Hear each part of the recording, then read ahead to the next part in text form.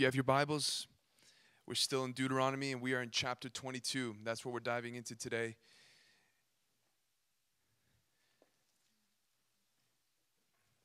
My people are destroyed for a lack of knowledge.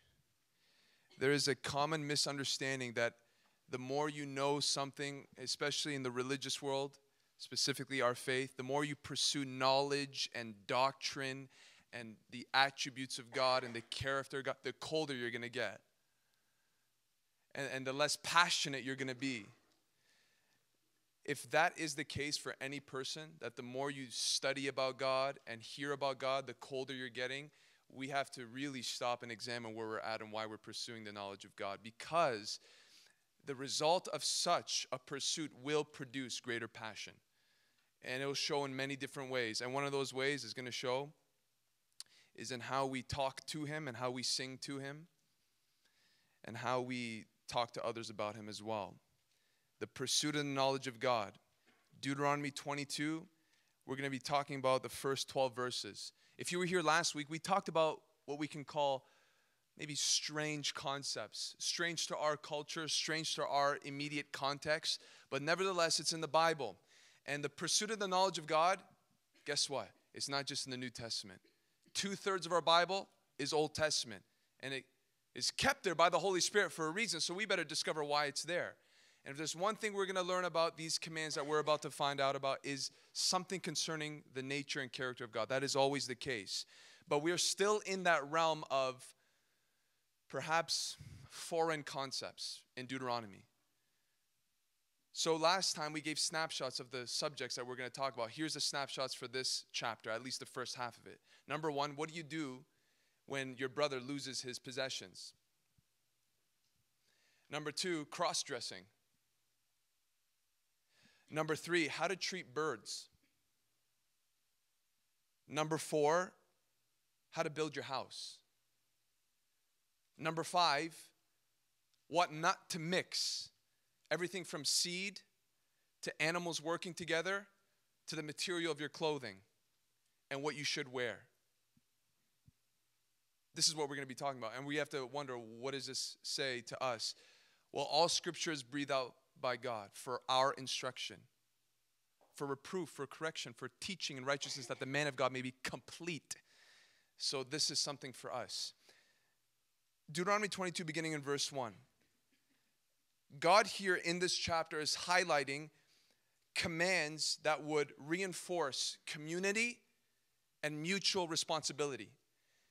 Everything about this chapter is how a society should work in terms of the old covenant with the people of Israel. These are not laws that are binding to us in this day, especially in the new covenant, but in this particular context, commands that would promote a harmonious society on a day to day basis. So these are very detailed commands, but each of these detailed commands, if they were to be honored, would have a larger scale impact on how the nation would function according to God's desired will. And the first thing that we notice here is how someone is to respond if he finds a missing property that belonged to another Israelite. So let's just read. You shall not see your brother's ox or his sheep going astray and ignore them. You shall take them back to your brother. And if he does not live near you and you do not know who he is, you shall bring it home to your house and it shall stay with you until your brother seeks it. Then you shall restore it to him. You shall do the same with his donkey, or with his garment, or with any lost thing of your brother's, which he loses and you find, you may not ignore it. You shall not see your brother's donkey or his ox fallen down by the way and ignore them. You shall help him to lift them up again. Bible study, two questions, or one question, two answers. What two words do you see in these verses repeat themselves? One repeats himself more than the other. What's the one word that sticks out in these few verses? You got it. Brother. You lipped it first, but then you said. Yes, brother. Five times is the word brother mentioned. That's important. Why? Because he wants them to relate to each other in such a way. You're not just my neighbor. You're not just a fellow citizen. You're not just an Israelite. You're my brother. Here's the rule. We said it last week. If you're going to come into relationship with God, you automatically come into relationship with his people. You can't separate the two. This concept, well, I'm a Christian, but I don't go to church, is wrong. Well, I'm a Christian, I walk with Jesus, I don't know, I don't need to walk with other people that walk with Jesus, is completely false. It is foreign to the Old Testament, it is definitely foreign to the New Testament. When you say yes to Jesus, I follow him, you automatically not just bind yourself to his heart, you bind yourself arm in arm with other brothers and sisters who also have bound their hearts to his. Brother, brother, brother, brother. And the second word, anybody can guess that repeats itself? Ignore. Ignore. Three times is the word ignore brought up. And here's the idea the temptation for an Israelite to see a missing ox that belonged to a brother or a garment or whatever it may be, what's the temptation? To ignore it. I'm going to pretend that I didn't see the ox. I'm going to pretend I didn't see the donkey. I'm going to pretend I didn't see his coat. Why? Because to take upon the responsibility of bringing it into your home will cost something to a certain degree. It will cost time, it will cost energy, it will cost personal resources. Because, for example, if you were to bring in a donkey, who knows how long before your neighbor comes to your house or the person that lost it comes to your house? You have to feed the thing, you have to clean the thing, it's gonna eat out of your own pocket. It's not something that's beneficial to the one who finds it. So the temptation is I'm just gonna pretend I didn't see it. Ignore. Now we can apply this to ourselves and say that's true, you know, but the New Testament has the same command about being responsible for one another, but a different emphasis. The emphasis is greater than your car. The emphasis is greater than your nice jacket or your wallet, as important as those things is. The, the being a brother's keeper for another in the New Testament, we can translate verse 1 of Deuteronomy to get the idea. So, so what does it say in verse 1? You shall not see your brother's ox or his sheep going astray and ignore them. Now let's let's change it. I'm not changing the verse. I'm changing it to give you an idea of what the New Testament emphasizes. What does it say? You shall not see your brother's ox or his sheep going astray and ignore them, right? Here's what the New Testament emphasizes You shall not see your brother going astray and ignore him. You shall not see your sister going astray and ignore her. That's what the New Testament amplifies in terms of mutual responsibility amongst a covenant people. And the proof of that is in James chapter 5, verse 19. The end of the book of James, how this man, inspired by the Spirit, ends the book is by declaring a very similar theme, but not about what you own. It's about your soul, the most precious thing to you. As much as it's a personal thing, there's also a corporate responsibility. Look what it says here My brothers, if anyone among you wanders from the truth, not your donkey, not your ox, not your garment, or anything else, if you, if you, you, you, if you wander away from the truth and someone brings him back, let him know that whoever brings back a sinner, ouch, brings back a sinner from his wandering will save his soul from death and will cover a multitude of sins. So let's go back to verse 19 and, and let's examine that verse. My brothers, is he talking to uh, the world? Is he saying, My brothers, if anyone among you who professes to be a Christian but really they're not a Christian? He doesn't say that. He says, My brothers, if anyone among you, speaking to the Christian community, em- emphasizing the importance but also highlighting the possibility that a person within the Christian community can wander away from his or her gospel convictions and gospel practices in a practical sense. If anybody wanders, and that word denotes not just like a crisis moment that would have them isolate themselves, though that's possible. The idea is a slow drifting away. We've all seen it, haven't we? The slow drifting away. We begin to see a change in behavior of the speech, of their passion, it's lacking. Then we see a slow drifting away of attendance, a slow drifting away from the people of God, from the community of faith and a greater embracing of the world. And, and now it's not even difficult to find out. All you need to go is uh, go on the person's Instagram and see it, the person's Facebook and see it. There's a wandering away that comes. And this is a powerful thing. He gives this command because the temptation for the Christian is the same temptation for the Israelite to ignore it. Why? for the same reason. That's going to cost me time. And do you know it takes energy to pray for somebody that's wandering away? That takes energy. One of the most tiring and taxing things in the Christian life, I believe, is intercession. If you've ever done it, if you've come on a Wednesday night, you, you can know there's something tiring about praying on behalf of others. It's, it's, it's a battle. Resources. Man, this person wandering, and I have to drive out and see them out of my time, out of my. I, I got to do so much, and now I got to go fetch them and see them face to face, or even just ignoring it for the sake of not having to confront that person. That's probably the most awkward thing of it all. To, to confront somebody that's not vocalized. You know, people that wander away from the truth don't come up on the pulpit one day and say, hey guys, I'm wandering away from the truth. I'm no longer going to be a practical Christian. See you later. That doesn't happen. And oftentimes, when you have to confront somebody that's wandering away, they'll be all defensive. What are you talking about? I'm fine. What are you talking about? I still love Jesus. Yeah, but your Instagram doesn't show it. Your Snapchat doesn't prove it. So the confrontation element of it is not, is not a pleasant experience. And so James, by the Spirit, is, is encouraging the believers that this concept of going out and grabbing those that have wandered away is a vital, hear it, ministry. Vital ministry. How vital? Look at the language that he gives about a believer that walks away. Look at verse 20 again. Let him know that whoever brings back a sinner from his wandering will save his soul from death and will cover a multitude of sins. Now, let's just be honest. If I were to read that without verse 19, I would think that this context was about evangelism. Right? I'm th- verse 20, I'm thinking you're going out and preaching and saving souls. That's not what verse 20 is, though. You isolate that can be it, but verse 19 is connected to it. So this is about a brother, this is about a sister that's going out. And, and what's the idea here?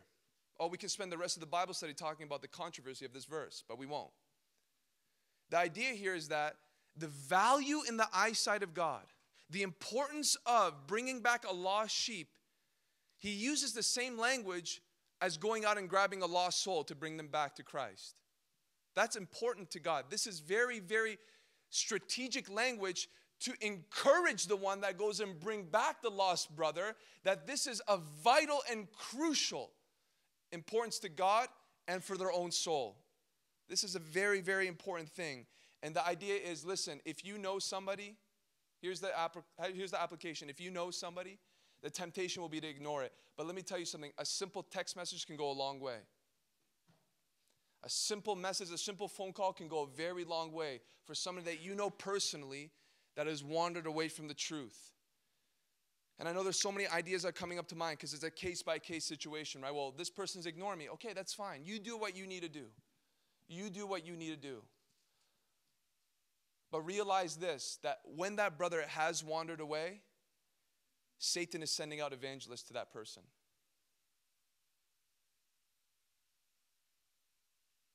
The devil has her right where she wants her, right, right where he wants her. And what he will do is what we should do, and that's reach out to them to bring them back. Because you better believe this he, he will send out recruiters and evangelists to make sure that they don't ever come back into the fold. So God says in Deuteronomy 22 don't ignore it. You being in this covenant with me means you're in covenant with other people. And so the temptation might be to turn the other cheek or the other way in terms of your sight, but no, take it upon yourself to be a loving brother, a loving sister, and bring back that wanderer. That's the main application of these first few verses. Then we jump into some random subject in verse 5. A woman shall not wear a man's garment, nor shall a man put on a woman's cloak. Here's a strong word for whoever does these things is an abomination to the Lord your God. Contrary to modern belief, the human race is comprised of two genders male and female. This is how God created mankind. Male and female, He created them, and it was a reflection of his own image upon his creation. The clear command here in Deuteronomy 22 This is God's motivation behind it. His desire is to protect any influence that would attempt to blur the lines between the two sexes. The cross dressing issue is an attempt. So if somebody attempts to go that route, with this command prohibits, what, what's going on there is that that act is a step further into making no distinction between a man and a woman, and listen to this, is ultimately an assault on God's creative order. When a culture does not honor the uniqueness of the two distinct genders or tries to merge them and make them two interchangeable things, what you have is evidence of a catastrophic confusion on a foundational level in a society. Can I say that again? When a culture attempts to make no distinction between the unique elements of a man and a woman or attempts to merge or interchange them, what you have is catastrophic confusion at the foundational level of a society. Because if you confuse the concept of a simple thing as gender, what you do is open up an entire generation to be potentially confused in every other sphere of life. And that's what we're seeing today. I want you to know this that what we are witnessing and what seems to be escalating more and more through the transgender movement is no light thing.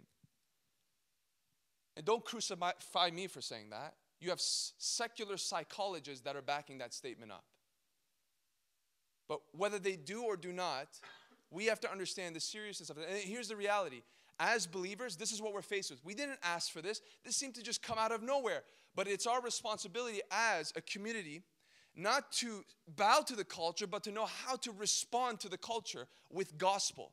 We, we can't afford to not have answers, even though there are new things coming up uh, almost on a yearly basis. And this subject of blending genders or this, this spectrum of genders, all these things, listen, this probably wouldn't have been an issue 100 years ago, but it is an issue today, and we have to deal with it. We do have to deal with it. And how we're going to deal with it in this Bible study from Deuteronomy 22. Never thought from Deuteronomy 22 we talk about such a modern issue is maybe talk about maybe three questions that people might ask concerning the issue. What's the big deal about it? That's the first one. What's the big deal about transgenderism? I'll give you two subpoints. Number one, this ideology, this movement, number one, is an assault on God. Is an assault on God whether people are realizing it or not, the movement that we are seeing today is energized by the devil himself. And the sole purpose is assaulting God as the author and creator of mankind. And here's just a small example of that. Let's say if you took a picture of me, and maybe you wanted to. Yeah, let me take a picture. Then you go out and you print an 8.5, 11 image of me, and you grab a group of your friends and one of them pulls out a cell phone and with that image you begin to throw it on the, the, ground you step on the image you spit on the image and you ultimately burn the image. Now though i am not the direct object of that assault the fact that it is being implemented upon the image that it represents is already sending me a message as the image holder the fact that it's being done to the thing that is representing who I am speaks loudly of the fact that it is being done to me indirectly. And that's exactly what we're seeing with the human race. The fact that what God had created so clearly and so obviously and with an intended purpose and an initial purpose for all time, the fact that that's being trampled with is a message to the fact that we are created in the image of God that we are assaulting God Himself. We bear His image, and when His image is trying to be morphed or shifted or mutilated, it's an assault on God Himself. And that is a scary thing. Because when somebody, listen, when somebody embraces this concept, when, when they maybe struggle with it, but that struggle has become their identity and they are convinced that this is who they are, though their biology is saying something else, though, though their DNA is testifying of something else, whether people realize it or not, and maybe this is not their immediate thought, but this is what they're doing, especially when they go further into making changes to fit what they feel they should be. Listen to what happens. What that person is doing, whether they realize it or not, is testifying God is not the creator of who I am, I'm my own creator. Doesn't matter how God made me to be, I know who I'm supposed to be, and so I'm going to make the changes necessary to make that message clear. I get to choose what I am and it moves God completely out of the picture of being any source, or rather the source, of the influence of who you and I were meant to be in this world. Primarily, it is an assault on God. But secondly, it is an assault on man. It's an assault on, on the person itself. Transgenderism, and when a person undergoes any sexual rearrangement, whether on a surgical level or even on a chemical level, because there are different levels. You can take hormones to change yourself. You can go and do surgery if you can afford it to actually change genitalia and parts of your body to make you look like the opposite sex. Whatever way you go, listen, this is very scary. And secular psychologists won't say this. And let me tell you what secular psychologists are doing in a minute. It's a form of personal suicide. a very slow one too because what, what that promotion is doing it is literally removing a person from the reality of who they are and reality as we know it it is pulling them away from basic understanding of their existence at the ground level at the foundational level and so to promote that is ultimately a person removing themselves further and further away of who they truly are. And studies have shown more and more, you ready for this? Secular studies have shown more and more that actually the greatest follow up study and research of those who have undergone surgery to change themselves, after a span of 10 to 15 years, are 20 times more likely to kill themselves. Want the link? Just come and ask me after the Bible study. 20 times more likely to commit suicide after the fact that they have done all that they thought they can do to make themselves more into what they feel like they should be. And what happens? It doesn't work. You won't become more whole when you do that. It's contrary to the law of God. The further you go away from truth, even for yourself and who God calls you to be, the further you're going into emptiness, vanity, despair. You can't change your biology. It is scary. I've watched even interviews on this, and, and, I echo the YouTube comments. Sometimes I just go to the YouTube comments right away just to see what people say. And it, it, it's true. People, people are saying this obvious thing. I can't believe we're actually having to explain this today. The fact that we need to bring on professionals to explain the simplicity of gender distinction what makes a man a man, what makes a woman a woman. It's crazy. But that's what we're facing. And I know I'm coming off very, very strong, but it's not to strike such a person down because, you know, the reality is in Deuteronomy 22, we don't get a reason why somebody would tr- dress the opposite way that they were intended to dress. There's no motive behind it. We don't get the motive. All we know is this that no matter what a person might feel, no matter what his motive is to, to, to promote that practice in their lives. This conclusion is never the final answer or an answer at all. So, dismiss the motive to come to this point according to God is never, ever the answer. And you might genuinely have people, listen, who struggle with those internal emotions or those thoughts. They might feel displaced. They, they might feel as though, yes, there's a contradiction in their, their own body, That can be very true. And who are not thinking, oh, I'm going to assault God's character by pursuing this. Or thinking, oh, oh, yes, I, I want to be my own creator. There's genuine tension in their heart. That's very true. It could be possible. But this, Deuteronomy 22, is never the answer for that. What is the hope for somebody who struggles with that? The same hope for any person that's struggling with anything contrary to the will of God in their lives. And it's the gospel. It's the gospel. Listen, the answer for a person that's struggling with themselves is simply this you know who God is, and then you understand who God made you to be.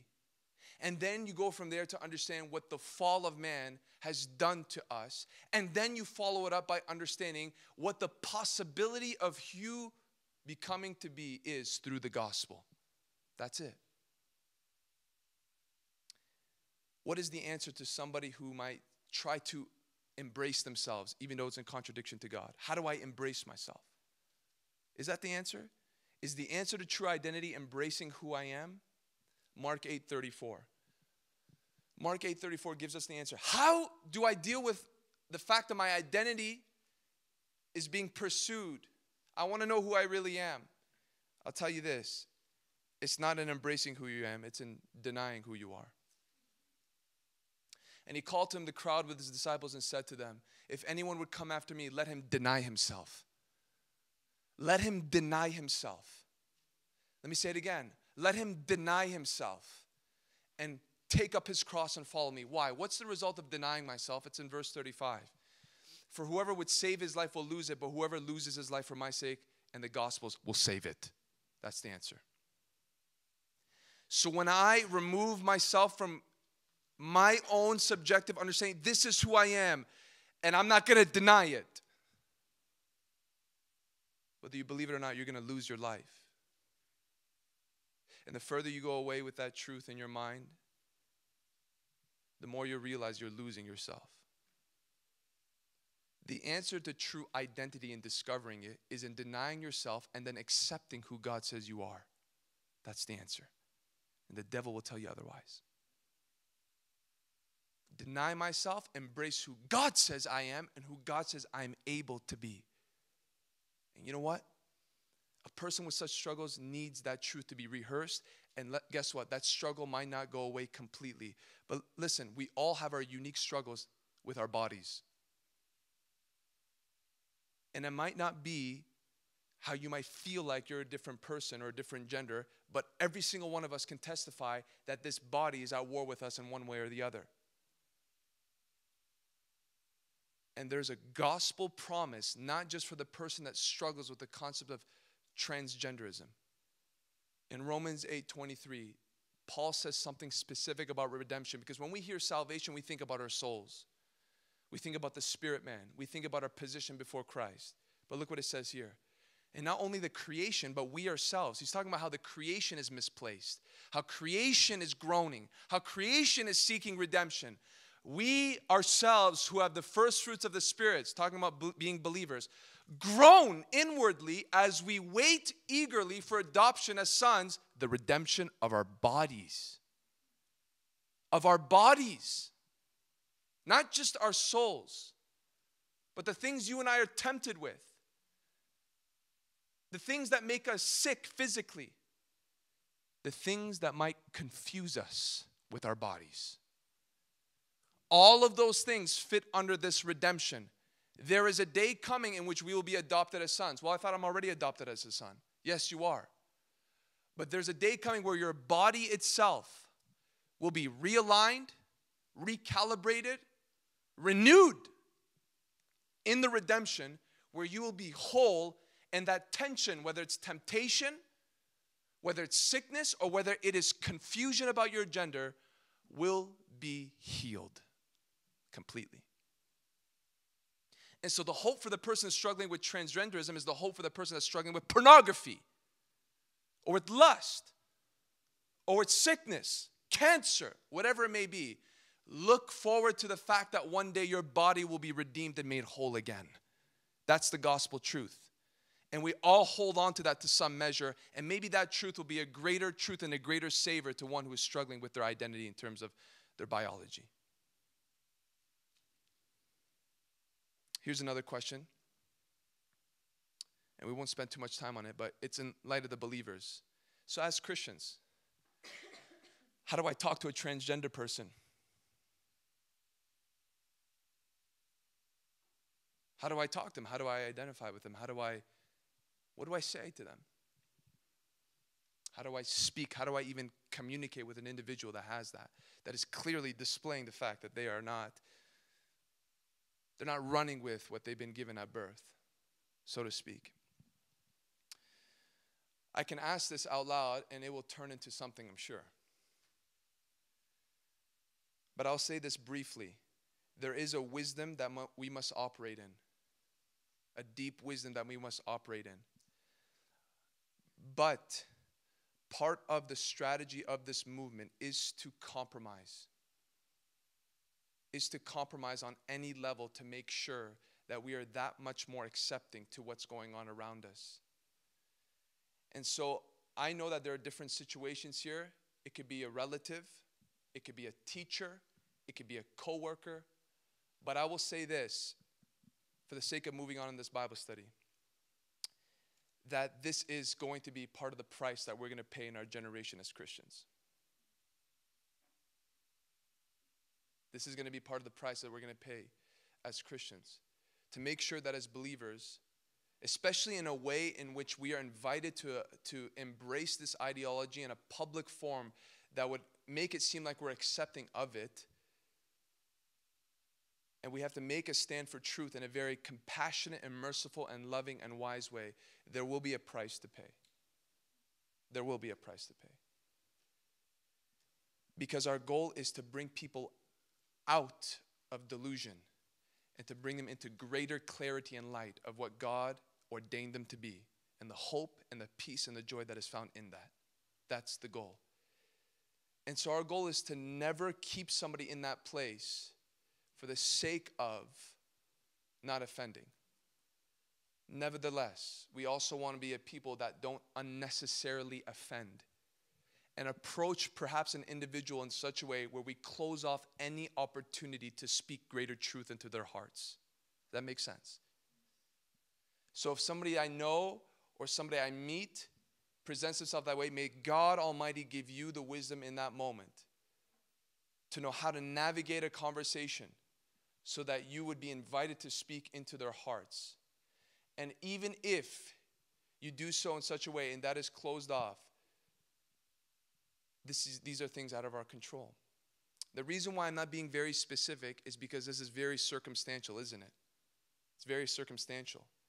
If you have an individual that, ha- that is a male and has a woman's name or a gender neutral name, which is possible, I know guys that have kind of names that are given to girls, and I know girls that have kind of names that are given to guys.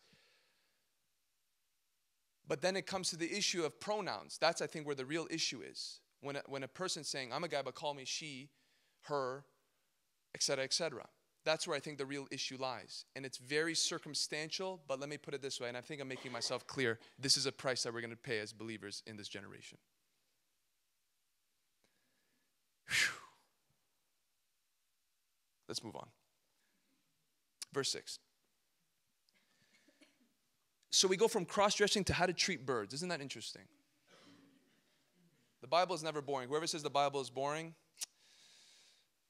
it's not true. Verse 6 If you come across a bird's nest in any tree or on the ground, so if you come across a bird's nest, we just talked about if you come across somebody who's dressing.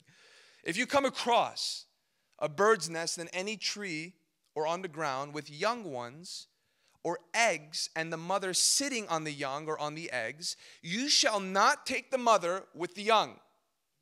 You shall let the mother go, but the young you may take for yourself. Now, look at the promise associated with such a simple and small command that it may go well with you and that you may live long. Wow.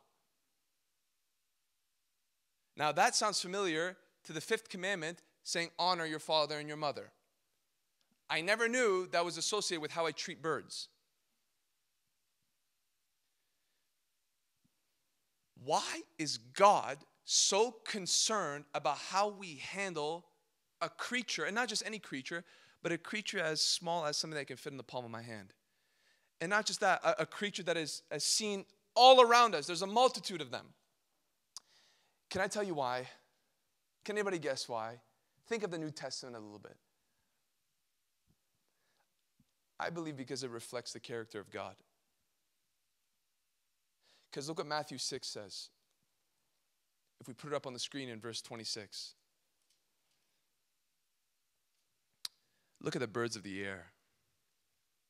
They neither sow nor reap nor gather into barns, yet your heavenly Father feeds them. Who feeds them? Your heavenly Father. No, the, the old man that I see in the park, he feeds them. My neighbor that throws seeds on the that, no, she feeds them your heavenly Father, in the midst of all the things, in the midst of sanctifying you, of protecting you, of guiding you, of answering prayers all across the world, you know what He's also doing? Feeding birds. Feeding little birds.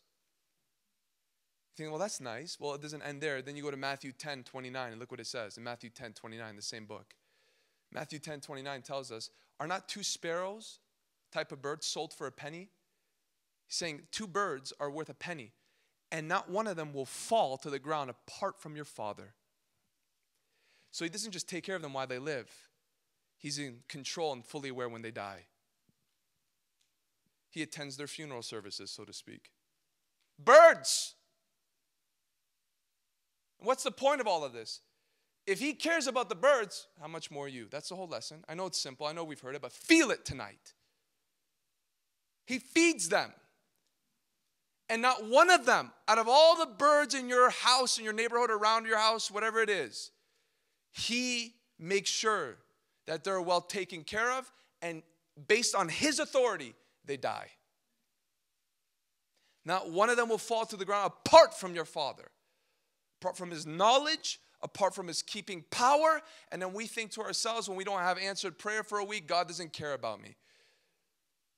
And then this command here in Deuteronomy the fact that there's attention given to birds, even in the Old Testament, says something about the heart of God. I actually care about them. I, I actually care about how you handle them. And part of the idea there of the fact of taking the eggs and letting the mother go, some would believe, is that to, to, not, to not bring more pain to the mother. This is just some argument. To letting the mother go and just taking what you need but what's fascinating about this is that it's so small and it's to encourage an attitude of compassion towards smaller things, smaller, lively things in this. Why? So that they would have in their hearts a growing compassion for the things, or rather the people that are created in the image of God. By stirring their hearts to give attention to birds, surely they would grow to have greater love and greater care and greater attention to human beings. And then you come to verse 7 with that promise that's tied into it that it may go well with you and that you may live long. And here's the main principle behind this command if you take the eggs with the mother, what you do is you cut off the possibility of that mother being able to produce even more eggs. Of that mother being able to create more resources, not just for you, but for other Israelites. And so this is to cut off any covetousness or selfishness, to take it all for themselves, including the mother that bore the eggs, and say, no, no, no, let the mother go so that others can receive from her. And here's the application, because that's a very small act of obedience, isn't it? That's a very small detail in our in our walk with obedience, right? Because the idea is it's just one bird. Let me just take the mom with it. But that, the problem is, if everybody does that, then there's going to be no further fruit, no further benefit for the rest. And so here's why this is given it's, it's a broader principle. Small acts of obedience have greater and longer lasting effects. What God is saying here is if you let that mother go, it will produce further blessings for other. If you choose to keep that mother for yourself with the eggs, you cut off possibility for others from receiving. And the, the temptation here was not to trust that and to dismiss the smaller command And what God's trying to teach his people, especially us, is the fact that he ties in such a big promise is to say this don't ever ignore the small things in the Bible. Don't ever ignore the small commands in the scripture and deal with the big ones only. Jesus himself said to the Pharisees that you embrace the smaller commands by rejecting the greater ones. And what he was saying was, embrace the greater ones while not neglecting the smaller ones. See, we have the opposite idea. We say, let's embrace the bigger ones, and nah, these ones are insignificant. And from Deuteronomy 22, I see something. Don't ignore the small things because they have big blessings. And they can produce great, great, great, great, great reward. That's why this promise is tied into such an insignificant instruction because he wants to give to them this understanding. Small command, big command, they're all commands. Disobey any one of them, consequences. Obey all of them, blessings. So, this is what we learn from the birds. And then we go from birds to how to build your house. What does it say in verse 8? When you build a new house, when you build a new house, you shall make a parapet for your roof, that you may not bring the guilt of blood upon your house if anyone should fall from it. So here's the instruction you build the walls, you're going to have a roof, right? And it was common in that day that your roof would be a place of prayer. We see that with Peter, right? Didn't Peter go up to the roof in Acts to pray while they were making him some food? It's a place of relaxation, it's a place of entertainment, it's a place of hosting guests. The roof. As you build your house, make sure that the walls go a little further up so that they will create a barrier around that roof. What's this command about? It's about everything that we see in this chapter to promote a mindset that all that you do, you don't do it with you and yourself in mind. You have other people in mind. And here it's the safety of your own family members and the safety of guests as they come over to your house. And so here's, here's the understanding physical protection. Lest there be an accident, somebody dies because they slipped, because they tripped, because they fell asleep and they roll over, and then you got to run to the city of refuge and you have to go through all that process. Avoid the possibility by letting the walls go up a little higher and creating parameters, railings around your roof. And reading that, I go, that, that's great. That's some good advice. But what's the spiritual implication? I think there's a spiritual implication here. These are physical guidelines to promote a physical safety, and yet at the same time, believers, not just about your physical home, but spiritually for your home, you and I also must create parameters. We must create guides, we must create limits lest we put people's souls in danger, specifically the people that we call family. That's all over the New Testament. Listen, we know it. The world is dark and evil. And if there's going to be any safe haven in our society, it has to be the home of the saint. If there's going to be any place that there's going to be security for my inner man, Never mind my, my body not falling over a roof. It's those who are, who are governing a home and a family to be discerning and prayerful enough that whatever they let in, they know what they're letting in. Whatever they let stay, they know what they're going to let stay. And whatever they need to kick out, they know what they need to kick out in order to promote a greater security for my soul, for your children's souls. That is a responsibility because Satan will attack the home. And guess what? It is not limited as we where where did all our minds just go? Ungodly entertainment, right? Don't watch this, don't watch that. It goes way further than that. What else do I let into my home? Do I do I let in and do I allow unforgiveness to stay in my home?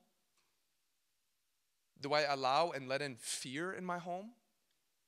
Do I let in and allow foul speech? Do I let in and allow lack of love and compassion in my home? Anything that would reign in the household that would put my soul in danger or put other souls in danger.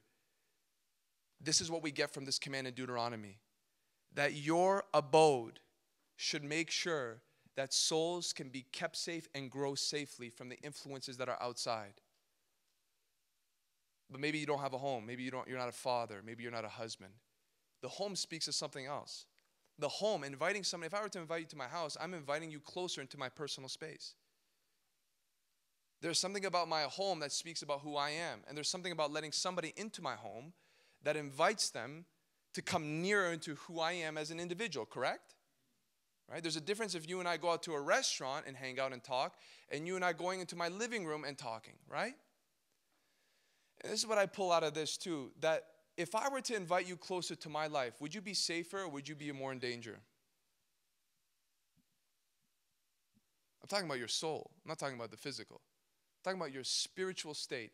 If I were to invite you closer into my life, would your spiritual state be safe or would it be in greater danger from falling? The, the warning here is that nobody would fall and that there would be blood guilt on your house.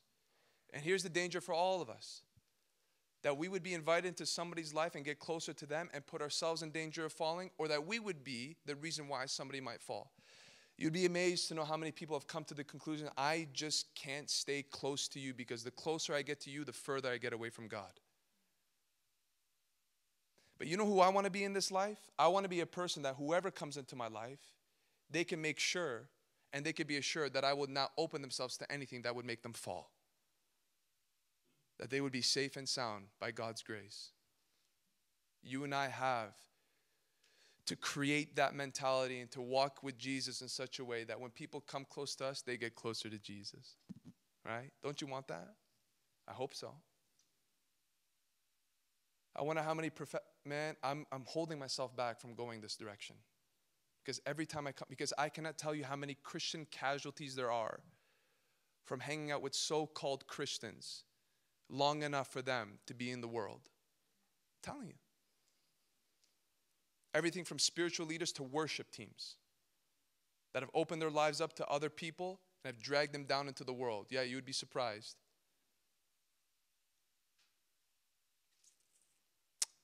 Now we come after to this next issue, verse 9. You shall not sow your vineyard with two kinds of seed, lest the whole yield be forfeited the crop that you have sown and the yield of the vineyard. You shall not plow with an ox and a donkey together. You shall not wear cloth or wool and linen mixed together. Have you heard this from an atheist before? Right? Oh, you condemn homosexuality, but well, what, what kind of materials in your sweater? Right? Have you heard that before? I remember when I first got saved and I was just discovering the Bible and I was evangelizing people that I knew. And the first thing that came up was, you believe that gays aren't God's children, right? You believe that homosexuals can't, and then they begin to just bring up certain things. I thought, well, yeah, the, the, Bible says that. And here I am in my infancy of my faith. And the next thing they caught up was, but you can't eat lobster then, right? And you can't wear this and that. And I'm like, let me get back to you on that. I didn't know anything about that. I knew about the homosexuality thing, but I had no idea about, no, let me get back to you. Seriously, that's what it was. Here's a good point. Don't ever be discouraged if you're evangelizing somebody and you don't have the answer right away. Please don't be discouraged. discouraged. I'll tell you that the, the things that I've learned the most have come from receiving questions and me not having answers for them.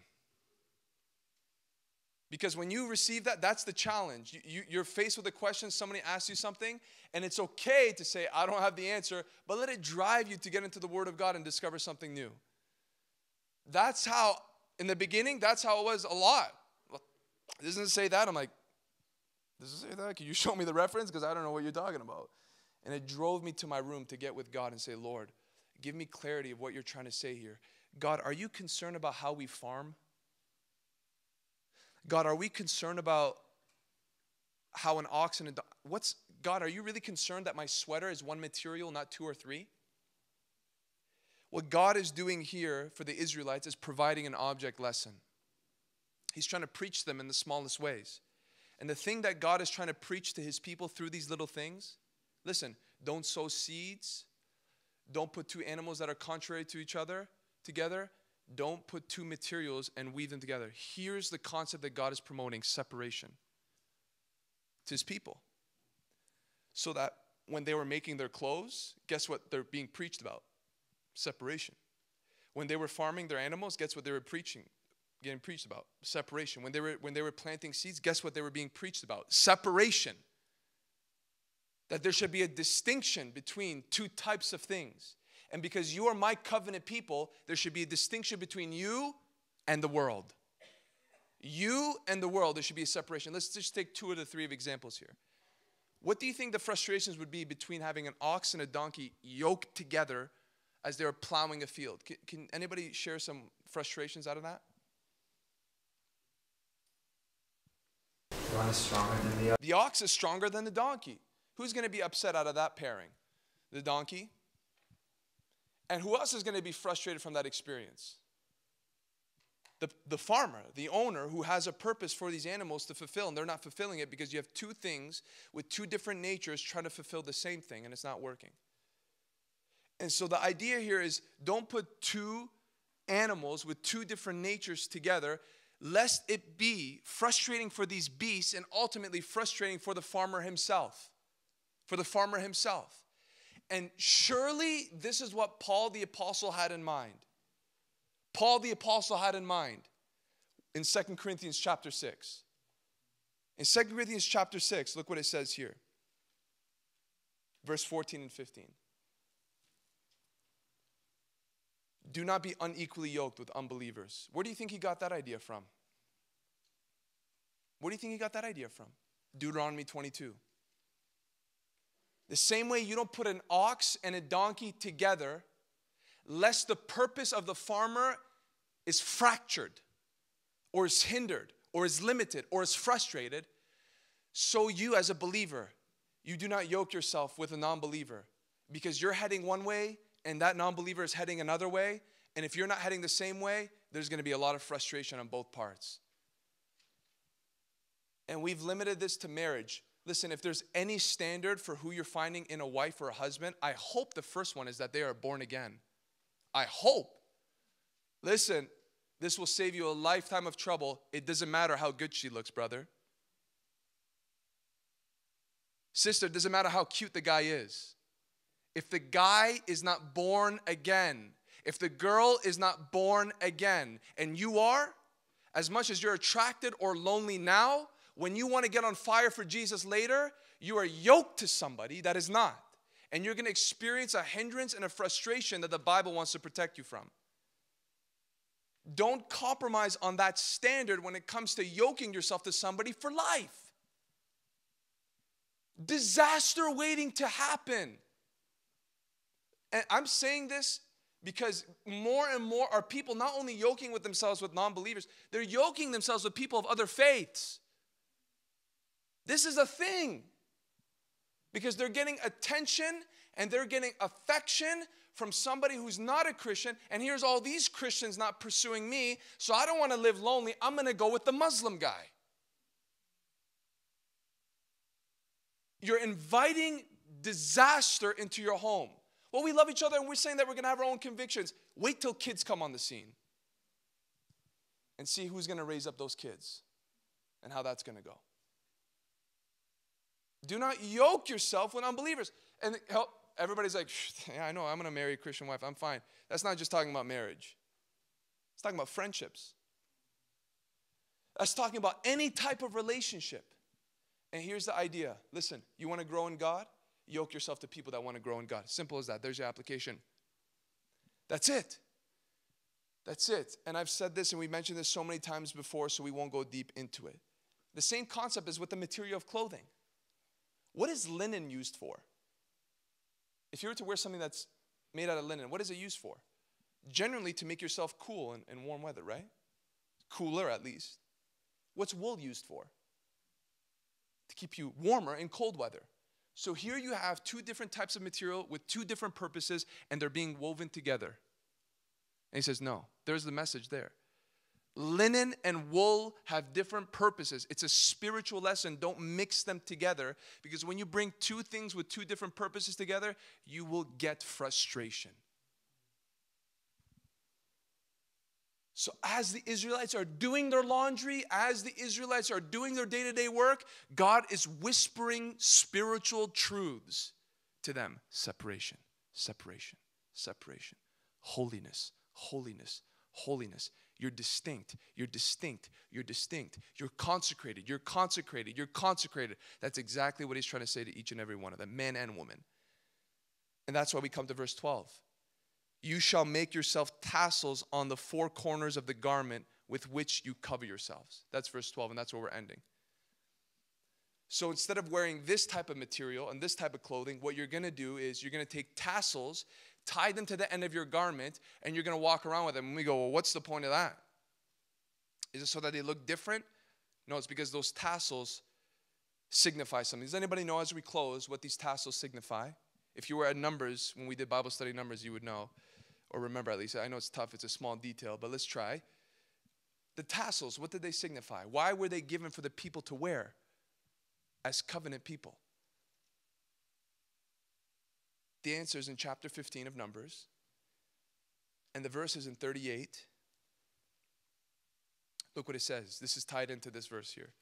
And he's reminding them as he's talking about dress. Speak to the people of Israel and tell them to make tassels on the corners of their garments throughout their generations. Why? And to put a cord of blue on the tassel of each corner. Okay, here's the reason. And it shall be a tassel for you to look at and remember all the commandments of the Lord. To do them, not to follow after your own heart and your own eyes, which you are inclined to whore after. So again, it's that object lesson. They're going to get lessons from seeds. They're going to get lessons from their beasts. They're going to get lessons from their material. And here's another object lesson you're going to have these tassels tied to your garment so that as you're walking and you're kicking that rock down the road, you would see these tassels dangling, and these tassels will remind you of the various commands of God. And by seeing those tassels, you would remember your identity. You would remember who you were made to live for. You would remember who you are. You would remember what you're called to do. And so it was a visual reminder of who God is in their lives and who they are in God. And surely other people that would look at them would say, What are those tassels about? And it would be a witnessing tool. All to say what? What's the spiritual application as we close? Don't mix, don't be distinct. But if you're gonna you're gonna be identified with anyone or with anything, let the word of God clothe your life. Let the truths of who God is cover you. Your word is a lamp unto my what? Feet. Your word guides my feet. Do you think there's a connection maybe there? And so what we what we see here is that it's it's the word that governs my steps. It's the word that directs my paths. It's the word that frames my convictions. It's the word. And they would be reminded through these tassels everything from how I treat a little birdie to how I understand my identity, even biologically, and how I see my brother and sister. All of those things would be reminded. It would be pumped into their hearts as they would even just look upon it, at least hopefully. Unfortunately, you had the Pharisees later on that were condemned by Jesus for making those fringes extra long to show how religious they were. But it doesn't matter how much you show the world that you have the word on you or in you. That's the Pharisees' condemnation, is it not? Jesus says they love to wear the fringes long so that people can say, oh, look, it's not just the standard, they've gone above the standard. And they display to everybody else how much they knew and how much they revered the word of God supposedly, but inside they were dead man's bones. God never intended this visual reminder to be a display of where I am. See, you can display by how much you know with your mouth and with your arguments, but in the end, what God is after is the display of it in our actions. That's it. Deuteronomy 22. The simple overarching theme how we do life on a day to day basis, sure. But how we realize that we're in covenant with one another and we're not doing this life alone.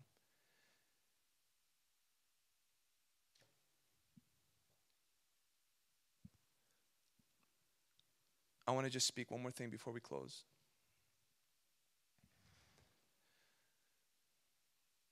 Jesus says, You shall know the truth, and the truth shall set you free.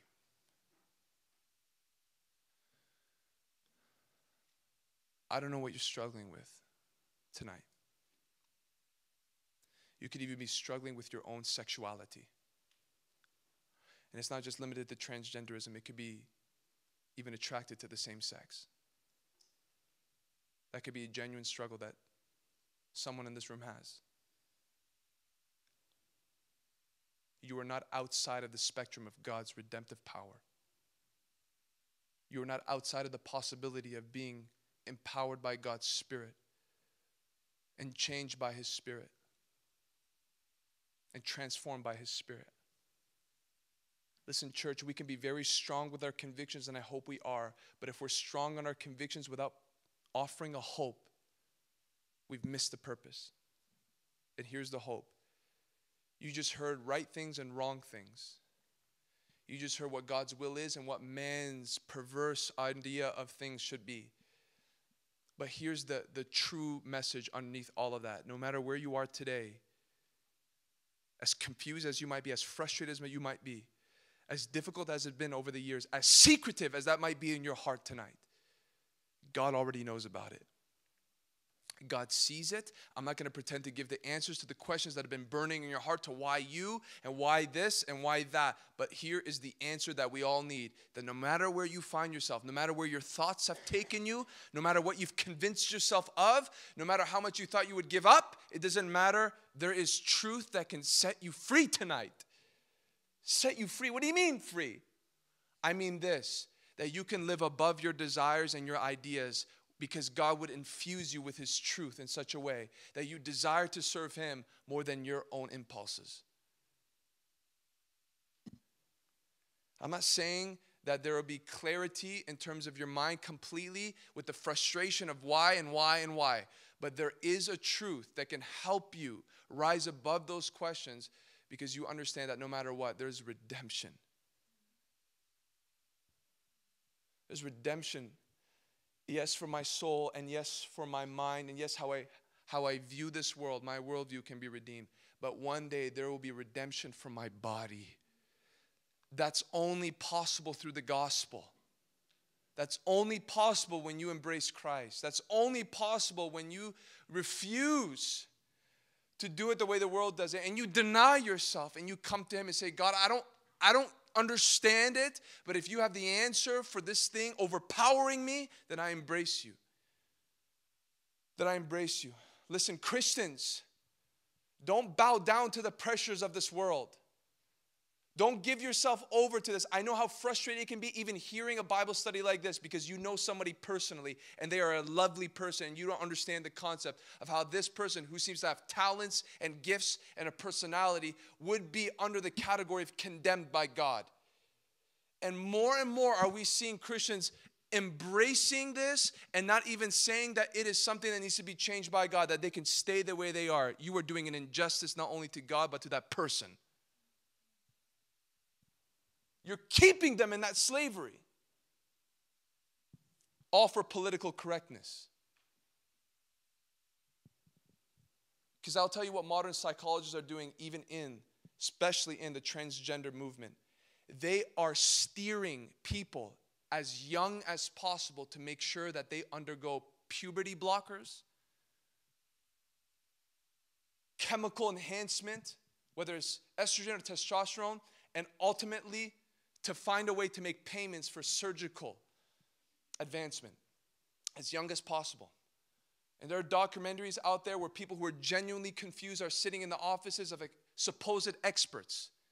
And these experts, instead of trying to dig deep into the wounds, into why they're thinking this way about themselves, are pushing them towards taking it upon their own power to change who they are biologically. It's a promo- it's an agenda. It's an agenda. And so you have certain places around the world that will allow a 15 year old to go through surgery to change their genitalia.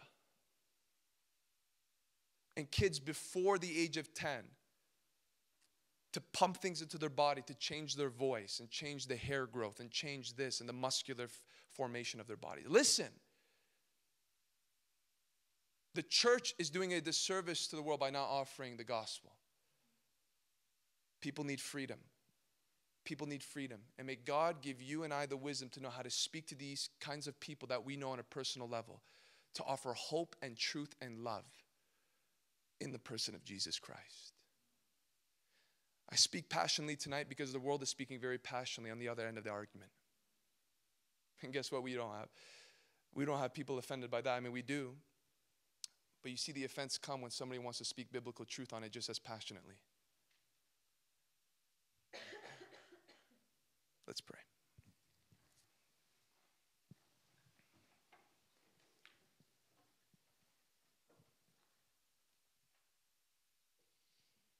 God, we ask tonight that not one person here or even on the live stream would feel any hint of condemnation, especially with our particular subjects that we've covered. But we ask that there would be an enlightenment and a hope to realize that if Jesus is who he says he is, and if he is alive as he claims to be, then he can do something with my situation. And we pray that that would be the ringing message in every person's heart tonight. Lord, we pray for the church here, the church around the world, especially in the West, to know how to face this new epidemic. And Lord, we ask for a wisdom from heaven to know how to steer people not into further confusion or frustration, but into greater clarity. Give us wisdom from heaven, Lord, as this is becoming more and more obvious in our day to day affairs, as it's being preached to us by the media and even in our schools. Give us the ability to know how to steer people to greater truth. God, we think about not just that subject, but the other things we touched on. If we know anybody that is walking away from truth, give us the love to reach out to them. We can't fully convince them. In the end, that's between them and God, but help us be loving enough to at least reach out. Lord, for the things in our lives that have no distinction, please give us, please give us an understanding that what this world needs is a sold out believer. A sold out believer. That's what the world is needing. May we be that kind of breed. God, tonight we choose to sing to you passionately because of the wisdom that you've bestowed upon us from a chapter as obscure as Deuteronomy 22. That you have something to teach us even in how we treat little birdies. And you have something to teach us even in the way we build our homes, though that was a different covenant. God, we look to you in thanksgiving that your word is alive and that it speaks to our lives. If anyone in here, Lord, has come and they don't know you, may they know tonight that that can all change by them simply surrendering to you and understanding that you're the Savior, we're the sinners. You have salvation, we cannot attain it. You give it, we receive it. We pray these things in Jesus' name. Amen.